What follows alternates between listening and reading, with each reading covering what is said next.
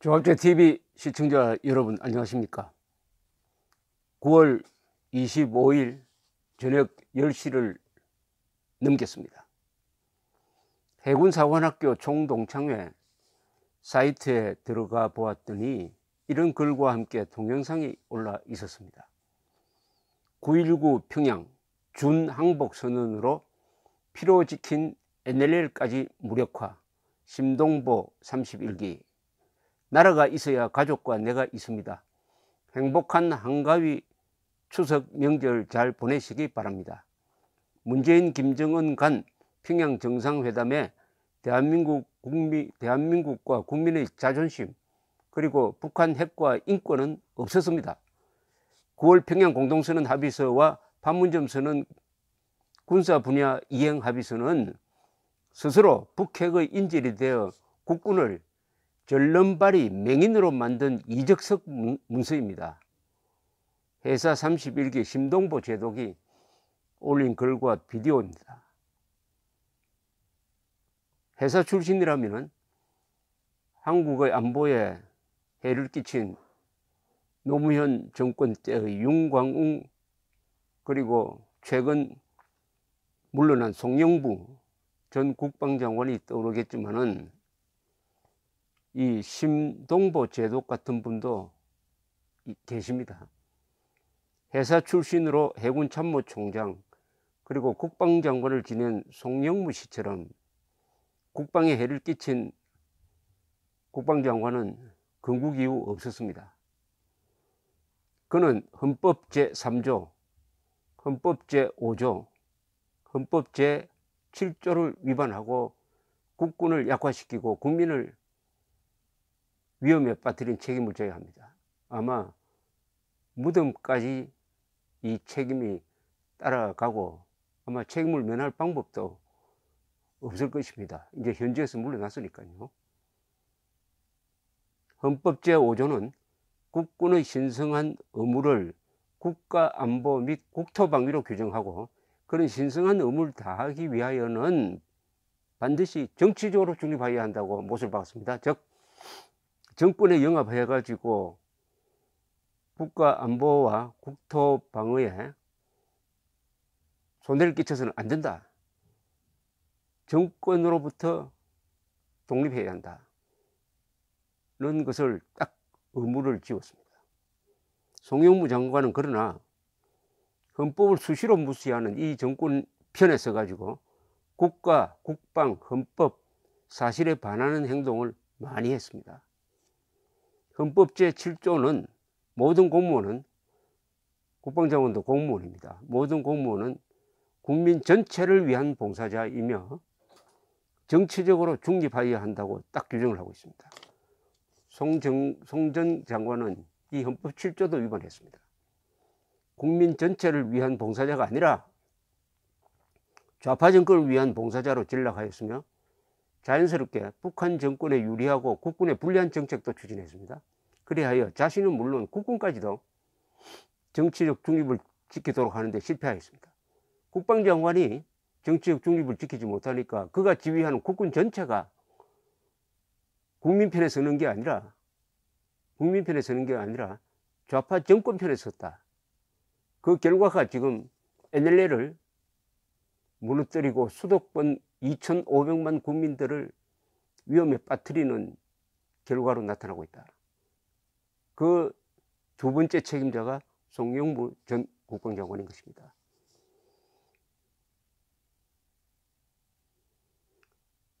이분이 헌법과 국군과 국가에 반하는 행동을 한 것은 너무나 많지만 제가 기억나는 대로 한번 적어봤습니다. 첫째, 광주 사태 재조사위원회는 광주에 투입된 헬기 조종사들이 전원 일치로 전원 일치로 우리는 기총소사 한 적이 없다고 했는데도 민간인들을 향해서 헬기가 사격을 했다. 양민 학살이 있었다고 잘못된 발표를 했습니다. 송 국방장관은 당연히 이의를 제기를 해야 되는데 이 잘못된 보고를 그냥 수용해 가지고 국군을 양민 학살범으로 공인하고 말았습니다. 당시 조종사들은 전원 일치로 사격 명령은 내려왔지만은 사격은 없었다고 했고 사격 흔적이 없습니다. 쐈다는 사람은 없고 맞았다는 사람은 없고 흔적도 없어요. 이것은 국방장관이 정권 편에 서서 즉 국민 전체의 봉사자가 아니라 정권의 봉사자가 되어 가지고 국군의 명예를 더럽힌 경우이고 더구나 국가로서 국방장관은 국가기관입니다. 국가기관이 사실을 왜곡하는데 앞장섰다. 사실을 왜곡하는데 국가가 앞장서면은 이것은 정말 이게 만약 사실로 굳어져 버리면은 나중에 교과서에는 대한민국 국군은 민간인들에게 헬기 사격을 했다 해가지고 북한군보다 더 나쁘게 가르치게 될 것입니다. 이 책임을 져야 합니다. 당연히 그때 국방장관으로서 그 보고서에는 이의가 있다. 우리 국방부가 별도로 조사하겠다. 이렇게 나와서야 합니다. 과거에 그런 전, 전례가 있습니다. 그것도 김대중 정부 때 국방부가 의무사위원회의 잘못된 보고를 견제한 적이 있습니다. 김대중 정부 때입니다. 이 두 번째, 남북 군사 합의서는 수도권 방어에 치명적인 내용이 수두룩한데도 특히 NLL을 사실상 무력화시킨 것임에도 그것도 해군 참모총장 출신인 송영무 국방장관은 이에 서명을 했습니다. 친김 좌파 정권을 위하여 헌법 제5조의 국방 의무와 헌법 제7조의 국민 봉사 의무를 동시에 져버린 겁니다. 그 다음에 한미연합사 해체로 이어지는 게 분명한 전시 작전권 전환을 결정해가지고 핵 위기에 노출된 한국 방어에 꼭 필요한 한미연합 전력에 구멍을 내는 조치를 취했습니다. 이 한미 해체, 한미연합사 해체를 막기 위해서 노무현 정권 때 예비역 장성들이 중심이 돼가지고 천만인 서명운동을 받아가지고 이명박 박근혜 정부 시절에 한미 연합사 해체, 이른바 전시작전권 전환, 이거는 사실상 무기 연기하는 걸로 했는데 문재인 정권이 들어서서 그걸 뒤집었습니다. 거기에 따라갔습니다. 송영무 정권이. 그리고 북한이 북한군을 주적으로 가르치지 않도록 함으로써 병사들에게 내가 왜 총을 들고 누굴 향하여 총을 겨누어야 될지 모르는 군대로 만들게 생겼습니다.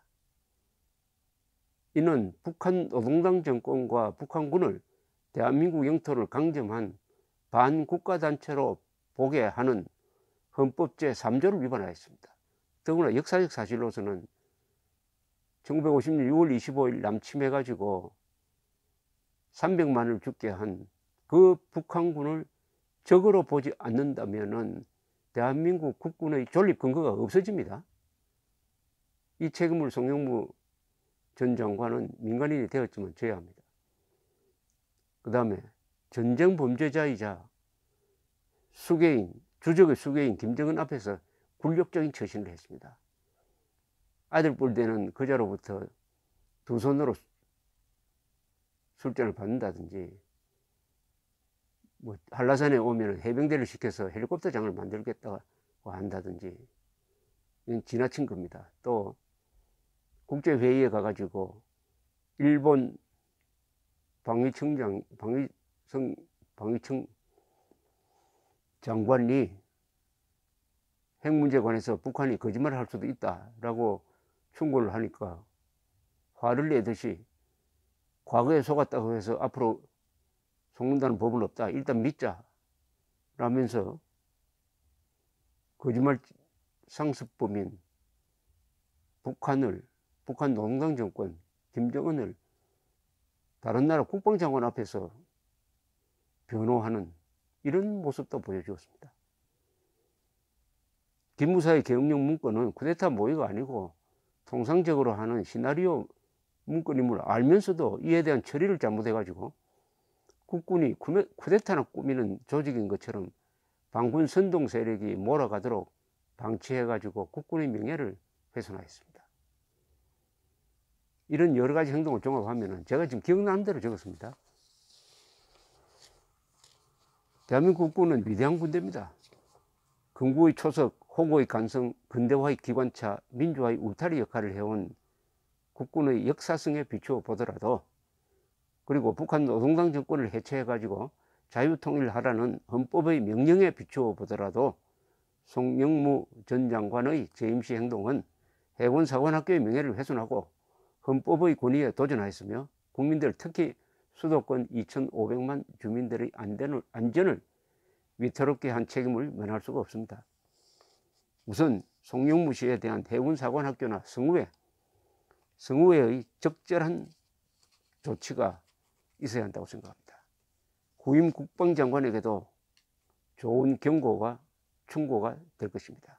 그리하여 제2의 송영무를 막아야 합니다. 예비역 장군들의 장군들의 행동이 필요합니다. 감사합니다.